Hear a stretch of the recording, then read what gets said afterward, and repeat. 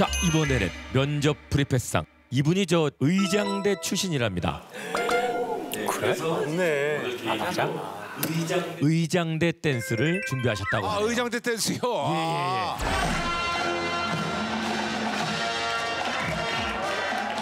그 의장대 댄스가 뭐지? 어 궁금하네요. 자 총을 좀 갖다 주실까요? 의장대 댄스 하면 총이 아하. 있어야 되니까.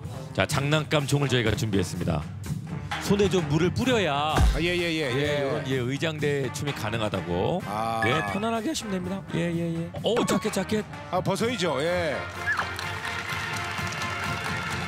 아 그래요.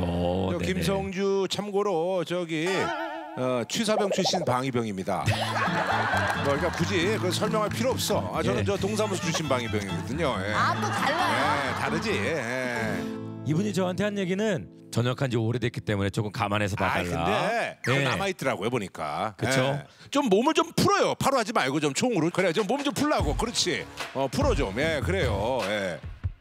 준비됐습니까? 음악 주세요.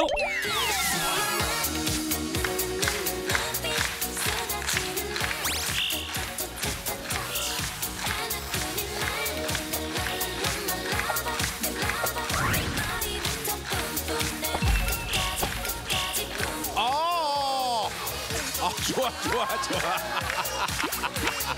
아, 야야 그래 그래 그래. 아 잘하네 잘해. 아 잘해 잘해 잘해 잘해.